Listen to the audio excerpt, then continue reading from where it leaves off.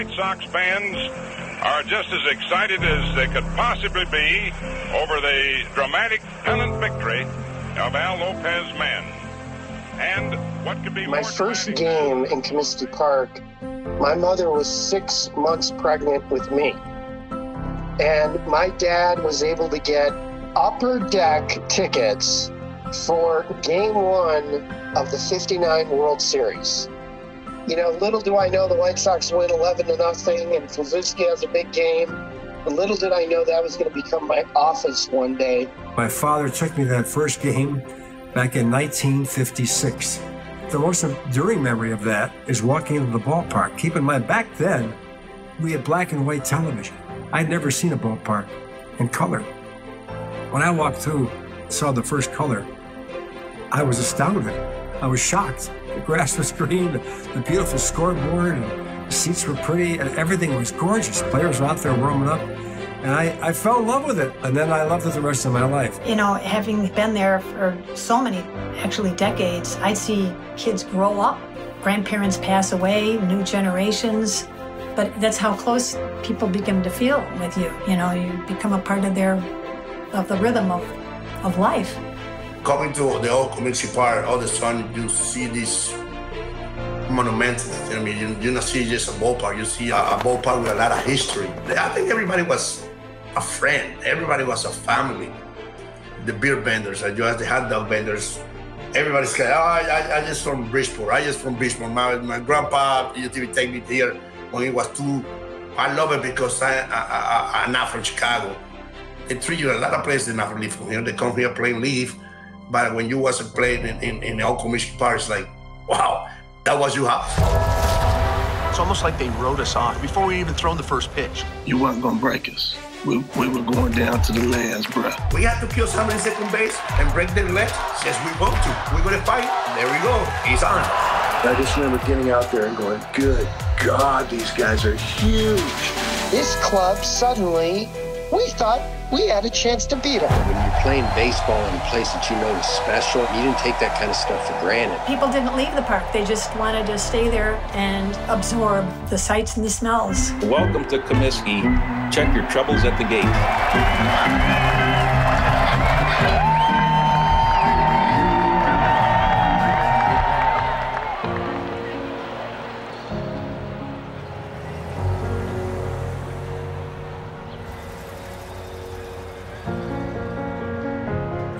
Last game, I brought my family. We brought our little video camera, and I remember talking to a lot of people in the park on my way in. We talked to people that worked at the park and just wanted to capture something so that we'd never forget. Sean, are you gonna miss? Are you gonna miss Comiskey Park? Oh yeah. 1990 being the last year, at first it was just like, well, you better just savor every game because this is the last one we'll have at this park.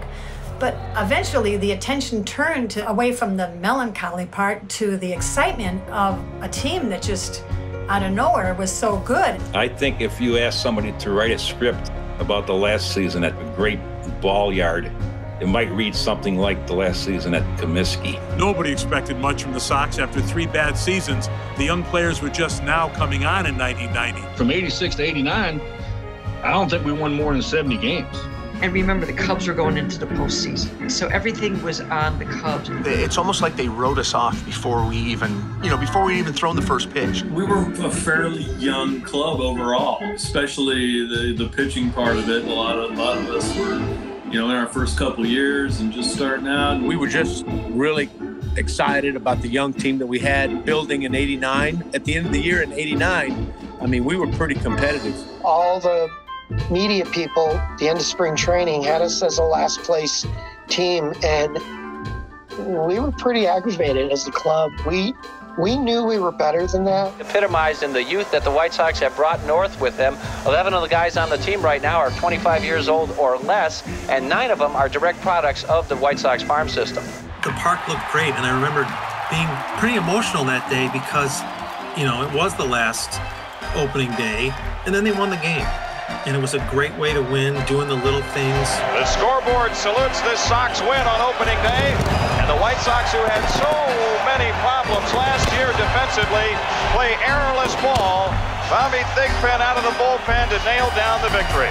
Chicago White Sox were trying to keep their fast start intact. Pick it up. Ron Kittle comes up to the plate and a 450-foot home run. He's 6'4", 220 from Gary. Look at that thing on the roof. Ozzie Guillen hit an RBI in the ninth, final 2-1 shot. It really started to become fun because that team, they were exciting. You, you don't know if the crowds were coming out because they were closing the park or because they were that good, but I think it was a combination of both, and it was fun. And Jeff Torborg was a really, really good manager. And I think he created a, a really tight bond with that whole group. I love to play for Jeff. Best manager I ever played for. I played with Bobby Cox. I played for Tony La Russa, two Hall of Famers. Jeffy was the party guy. He loved his player, loved his player. He was the perfect guy for that club. And I'll tell you why. We're a little unbridled. We're a little arrogant. But Torborg wasn't afraid to unleash the enthusiasm as long as it was handled the right way. He wasn't afraid to bring guys in and have a word with them, talk to them about the right way to play the game. He had so much respect for some of the veteran players on the team, and he instilled in them that it was okay to lead on the field, that it was okay to be demonstrative. And for the younger players, it was okay to be emotional with professionalism. Torborg just had a knack for for getting the most out of you. He was almost like a, a, a dad figure, but in a good way. When your coach says something, just sir. And back then, I think that's what Jeff Torborg did. I'm the boss, but I will let you guys play. That's it. That's simple as that. Well, he just liked to compete. He liked to compete hard and really pushed it for sure. Jeff Torborg understood what it what it was about being a major league player. By allowing those young players to fail early, where they realize that an 0 for 4 is not going to cost them a spot in the lineup the next day, how those situations are handled can play a big role in, in a player's career. I'm pitching in in Detroit. I walked three guys, then somebody relieved me, got out of it. He pulled me in his office. He goes, "Hey, I didn't bring you up here to go, you know, needling around. He goes, throw the ball. I got you up here because you're a fighter. So, man, that meant the world to me. It's like your dad telling you, get out there and giving me free reign to get after it. Jeff would kind of fly by me in the clubhouse and just gave me a lot of encouragement to kind of be who I was and, and not, you know, tell me I had to do certain things or there was boundaries of, you know, how to pitch at the major league level. You know, my experience was A-ball up to that point. He was like a good, really good family kind of a man where he did, he had one thing that was very unique. I don't think anybody else has ever done this. During the season, you know, wives and family cannot fly with you on the team plane for most teams. Torborg said that if you're married, your wife can come with you on the flights. I loved, I loved having that. I loved having uh, my wife come with. It was great. He wanted the team to be family. He, he was smart enough to know that every player is not always going to get along with every other player every player doesn't act the same way off the field or on the field, but he still wanted any problems to be taken care of in house. If you can get that closeness, then you really have something. Let me tell you this about uh, about that team we had. Okay, they did not let me go out at all. You know, and that's what messes up a lot of the guys. You know, when you play in big cities, you play the game and you go out. Da da da da. No, they did not let me do that. I, I love all those guys to death to this day. Ozzie, all of them. They did. They they they made me go home every day. That's uh that's love, man. That's love. When we put our uniform on, it was all by the White Sox. Soon I walk to the clubhouse or we walk to the club, you all my family. A real family, not a fake family. But nowadays, like, I hear people, oh, we are family, we are family. Oh, shit, you can hate each other. I know. You're family when you win it, but when you lose it, you're like, hey, man, listen, man, no. We are, we was family. We get drunk together, we fight together, and we was there together for everyone. And that's a fact. That's not a, I'm not making that thing up. I'm nobody gonna talk to me about baseball, especially Chicago White Sox baseball. No one. rica mamacita, mi amor, mi vida. I miss you, baby. He brings a smile to my face because I remember I was 20 years old the first time I met him. He couldn't speak a word of English. And let's just step back. So the late Jerry Krause was assigned to find us a shortstop. And Jerry worked with me in the front office on a daily basis to schedule looks on all the top shortstops in the minor leagues. He scouted about 13 guys and spent five to 10 days with almost every player. Jerry came back with five guys that he really isolated with. And we were trying to decide which guy we should go after. And Jerry decided it was Ozzie. He loved his enthusiasm, his instincts. So we make the trade. Roland pulls the trigger, makes a trade that was pretty well ripped by a lot of people. I mean, LaMarr Hoyt in 83 won the Cy Young Award, and essentially a year later, he's traded for this, you know, young, unknown shortstop in AAA. He was the centerpiece of the deal, was Ozzie Guillen. All eyes on the South Side were on, okay, we just gave up LaMarr Hoyt. This Ozzie Guillen guy better be something. Oh, he turned out to be something. In a eight Kirby up. Ozzie's got to hurry. Bare hands. Yes! What a play by Ozzie Guillen. The only way he's going to get it. I gave up a rope and I thought, oh, I got to back up second. I turn around to, to go back up second, and here's Ozzie Guillen coming up, and he looks at me and says, Where are you going? And then he fires the ball to first. And I remember thinking, Hey, man, I can pitch in the big leagues if these guys are going to stop that stuff all the time. You know, Ozzie was, was always talking all the time. So I'd be out on the field and he'd be talking to the umpire, he'd be, or he'd be talking to, you know, you know, one of the other guys on base or something like that. And I'd be like, Ozzie, you know, I'd be like, because he's the guy's getting ready to pitch, throw the ball, and and Ozzie still talked, got his head turned with the umpire. And the next thing you know, the guy hits the ball to him. Ozzie fields it, throws the guy out. And I'm like, I ain't worried about Ozzie anymore. He's he's ready to play. I mean, he doesn't look like he's ready, but he's ready. He was a cut up, man. And especially on the charter flights, it was so much fun because he just, the guy was a laugh a minute. You know, the only time he wasn't talking is when he was sleeping. And when you're vocal and funny, um, it just puts you more in the spotlight. And I think he took a lot of pressure off a lot of guys a lot of times by, uh, you know, you could see like a reporter in the clubhouse maybe meandering his way over to somebody and Ozzie'd start chirping at the guy to kind of distract him because he knows that player is probably not in position to answer to this guy right now. What they were getting in Ozzie was not just a hard nosed shortstop, they were getting a leader. And I'm not sure they even realized they were getting that kind of leader when they made the trade. I think the remarkable part of the story is a guy who couldn't speak English when he showed up in 1985 amazingly became a captain five years later. His English was good enough that he could communicate with everybody in the ball club. He was a young man. He was 25, 26 years old, and he was vocal. I don't see guys do what they're supposed to do, at least try. Oh, you want to hear me all game? I'll be a motherfucking all game, every fucking at bat. Why? I will let you know we care. You don't care, let us know, and we told Jeff Torborg to get you out of here. And that's that's that's what it was. You're a leader, you get in people's face, right in his face. he would, you know, tell everybody just just like it is. Even talking to Frank Thomas, I remember him talking to Frank Thomas. He'd, you know, rip right into Frank Thomas. If, if Frank needs to be ripped into about something, he would rip into him. You know, he'd compliment him too. But for, for everybody, he would kind of set everybody straight. I care about Frank. I will care about Frank being good. I care about Robin Ventura to being good. I care about Ventura to be a winner. I care, I care about those guys to be great. Here's the thing. Here's the thing you got to love about Ozzie. Ozzie talked about everybody. Didn't discriminate one bit. But he talked about himself too. If he sucked, you know, so you, you, gotta love somebody that's like that. But Ozzie, Ozzie was pretty much running the clubhouse. Every at bat counts. Every pitch counts. I don't see anything, even 2005, I don't see anything like that. No.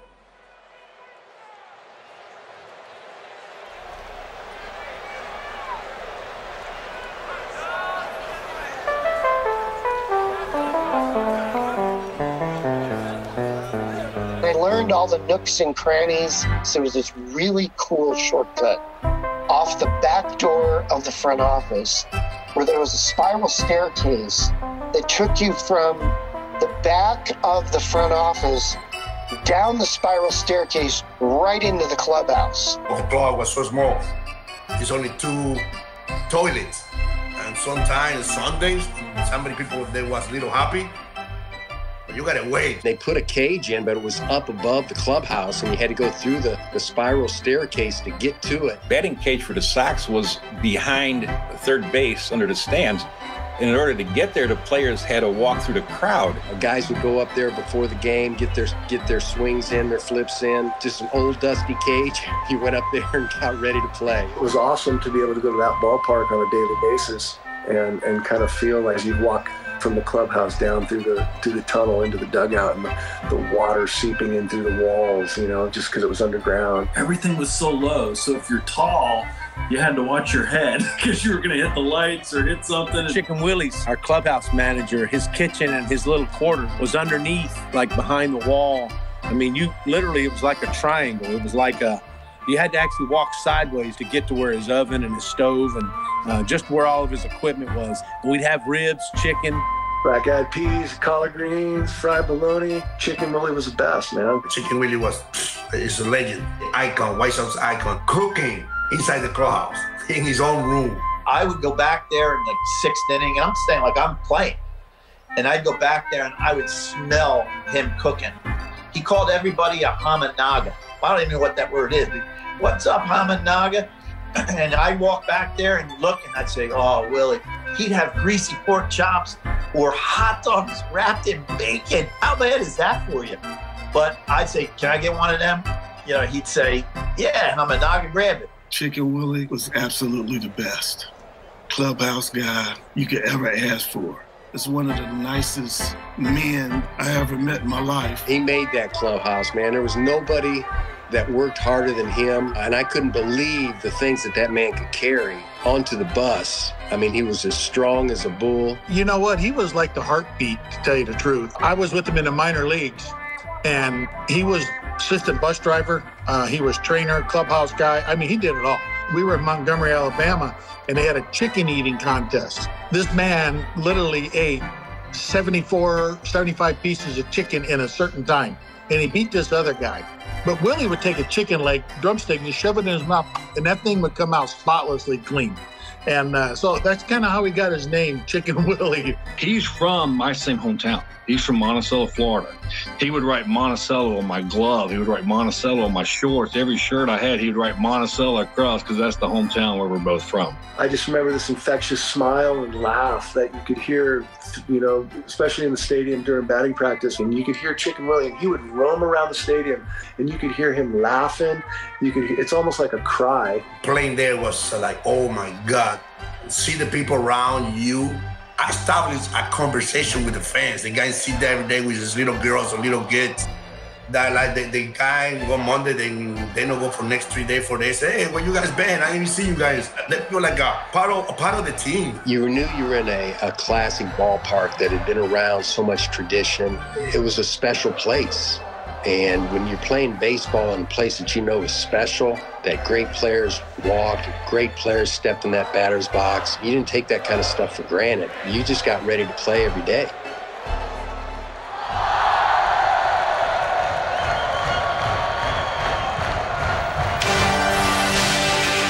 The defending world champion Oakland A's. As expected, atop the American League West, but facing a big challenge from a surprise contender. Until a couple of weeks ago, there was only one ticket window open here on 31st Street with a sign that read, Ring Bell for Service. Thursday afternoon was the second place White Sox opened the four game series with the first place A's. There were four windows open, and at one point, the Lions wound around the corner. We got out to a good start. We had a really good month of May. And I think as a result, we started to realize hey, we're in second place behind this juggernaut. I mean, one of the greatest teams in the modern era, truly. An elite team with a bunch of Hall of Famers on it. And this club suddenly, we thought we had a chance to beat them. You see Oakland coming to town, and I'll never forget going like on a Friday afternoon. I get there right after work, and I'd go sit in the right field upper deck and just listen to the balls bouncing off the roof from Canseco, McGwire, Dave Henderson. And you're like, my God, these were like mammoth men. I just remember get out, getting out there and going, good God, these guys are huge.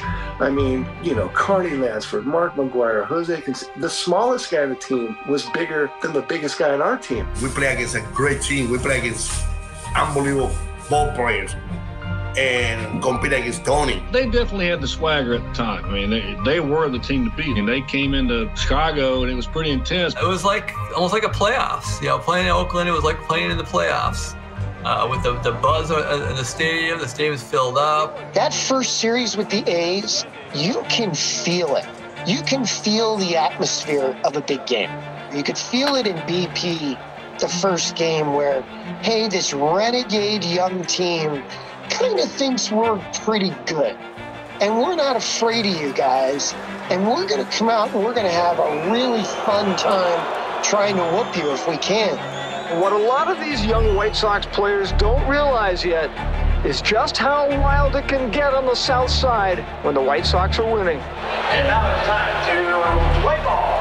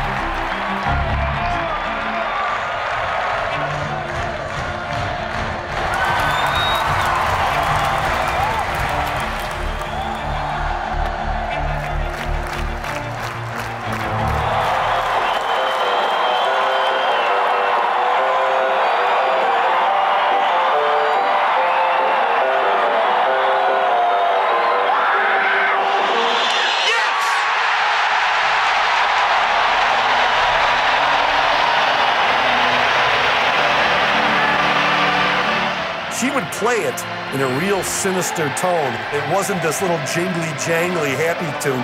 It was like dun, dun, dun, from the whole crowd got into it.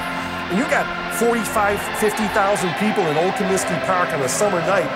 It was like Roman gladiators on the field, and they were the Romans. It was just loud and boisterous, and that was our team, and it was great. It was great.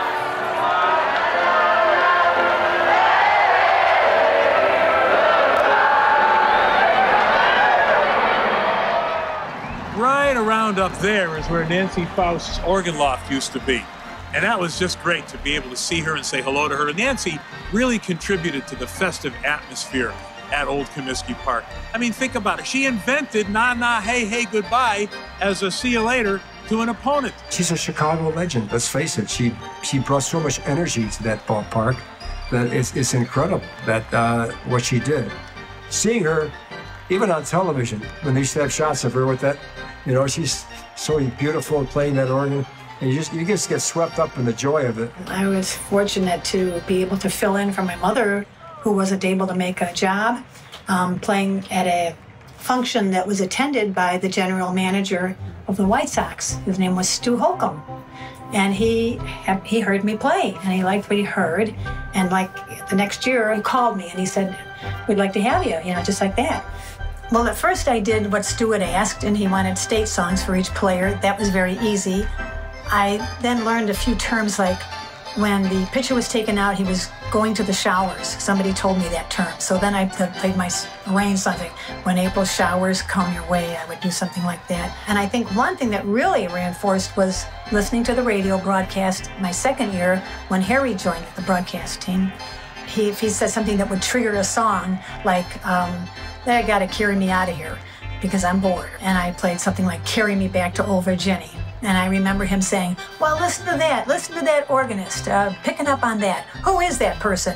I ought to bring that person in behind home plate where we can, you know, get to know her. I felt like I had a whole village working for me. I was probably reinforced by fans that started coming over to visit me and they'd say, hey, that was clever. How about trying this? Once the game got going, um, people would just come up with great ideas, uh, like slowest player or somebody's going out with Madonna or a lot of things that I wouldn't have known if it hadn't been for all this feedback. She was very smart with it, and the organ music back in that day was really cool, and she was probably the best one doing it.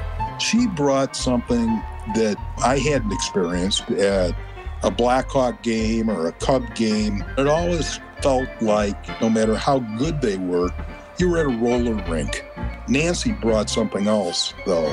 She was, she was another level. A guy would get picked off first base, and Nancy would start playing The Wanderer by Dion because he had straight off the base and he got picked up. The first time I'd ever heard that uh, na na na na na na na hey hey hey goodbye, I was shocked. It seemed like it was lack of sportsmanship at first, but then I look around and the fans are into it. They're they're shouting and they're singing along. You know, that was kind of one of our goals was to knock these pitchers out of the ballpark so we could hear the song. It was so much fun, right? Because you knew when when that started, right? That that we we were doing good. I was there in '77 against Kansas City when the onslaught of home runs and victory by the White Sox led the fans to singing "Na Na Hey Hey Goodbye," where they were telling the visiting team, "So long, you are beaten." Which was perfect for the '77 Hitmen because they said goodbye to a lot of baseballs going in the stands, and they knocked a lot of pitchers out, saying goodbye to those pitchers. The 1977 season just came out of nowhere. There were no expectations going in. Bill Veeck came up with the rental player. You know, he signed Gamble, you know, for the one year. He signed Zisk, who had 30 home runs. The South Southside Hitmen were very exciting because they hit so many home runs. Back in those days, you know, 31 home runs and Oscar Gamble hit to lead the team really meant something because that ballpark was like the Grand Canyon. And so were a lot of other ballparks. All of a sudden, home run after home run after home run. Somehow they managed to, to get into first place and stayed there for about a month and a half. Even though they finished 10 or 12 games behind Kansas City, they still won 90 games. And that was just a huge impact. Every night was like a party. Like Bill Veeck, when Bill Veeck owned the team, it was like you had 81 home games and he was throwing 81 parties a year and they were going to be fun. They didn't win the World Series, but they led the league in home runs and fun that year. Nancy Faust really was surging to the forefront with entertainment. And she really captured that club. I mean, that club, a lot of the excitement was her just getting in a zone where she really knew her role. And that ballpark, that na na na, hey hey, that exploded. Somewhere in my 30s, I was realizing I really like the organ. One day it just crystallized for me the reason why I like the organ so much is because of Nancy Faust. I was raised on the organ going to White Sox games. She was a celebrity, and she never felt like she was a celebrity, even though she was. You know, she always was grounded. Nancy's playing to the player, the situation, you know, the times. Those are unique that you don't have now. The walk up songs was something I always enjoyed at the old yard. I think my favorite was when Dave Winfield came up. Uh, the Yankees were in town and he had just signed his big contract. And Nancy played, We're in the money, we're in the money. How appropriate was that? God, I miss that so much. Just the the organ and you know the the when she did the Harold, Harold. By the way, Dick Allen was her favorite player, and when he came up to bat, she would play Jesus Christ Superstar was exactly what he was a superstar.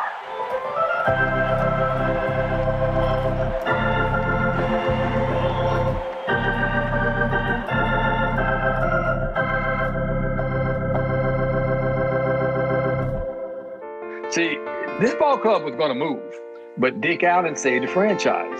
Remember 1970, they drew 495,000 people. So we all knew Dick Allen was a star. So, okay, what can he do in Chicago? That's a long drive, deep center, way back at my base. Hey, almost into the net. Dick Allen was putting them in the upper deck. He was putting them on the roof. That was the greatest era of White Sox baseball because you had so many more African Americans wanting to go to White Sox baseball games. because Dick Allen showed up. And there was so much pride walking to that ballpark, walking down 35th, crossing over the Dan Ryan Expressway, and just seeing all the African American people coming from the train into the right field stands to see Dick Allen. It was like a parade. It was like, we got a star, we got a star. And Dick Allen was a wonderful person. I, know, I see him sign autographs. I would always see him hanging out in Lawless Gardens on 35th Street in his big red Cadillac. A lot of times he would be pulling in the ballpark at 7:30. I know Chuck Tanner, I understand, would tell the person singing the national anthem to stretch it out as long as you can. We gotta wait for Dick to get dressed. He just got here. Dick Allen may not be the best player to ever play for the Chicago White Sox, but Dick Allen was the most important player ever to play for the Chicago White Sox. Because without Dick Allen, this team would not be here. The team would be in Seattle because they were gone. He saved the franchise. The best player to play for the White Sox, of course, is Frank Thomas. But the most important player, in my mind, is Dick Allen.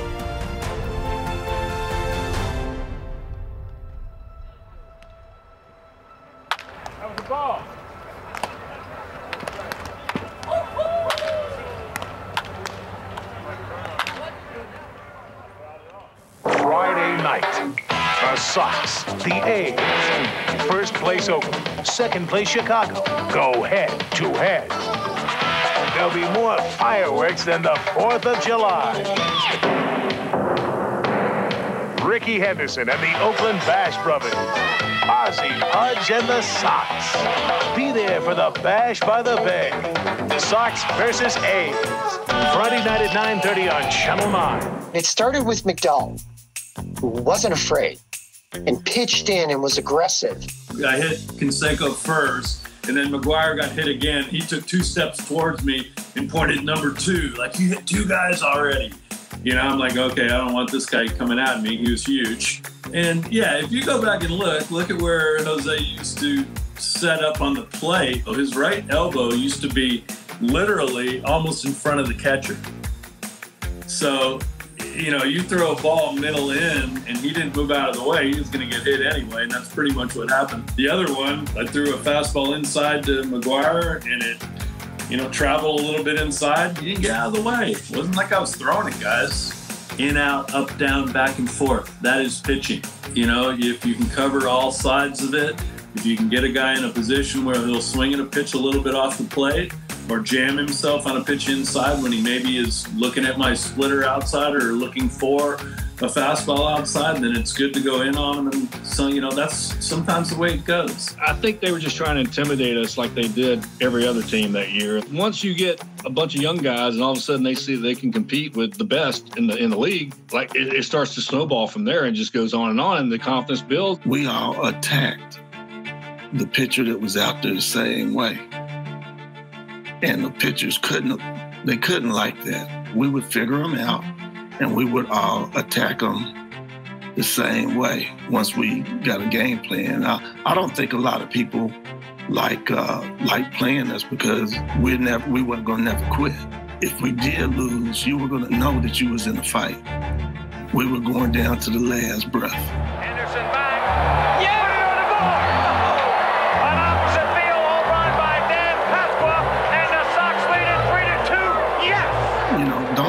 Don't nobody wanna fight somebody that they know that they're gonna keep coming.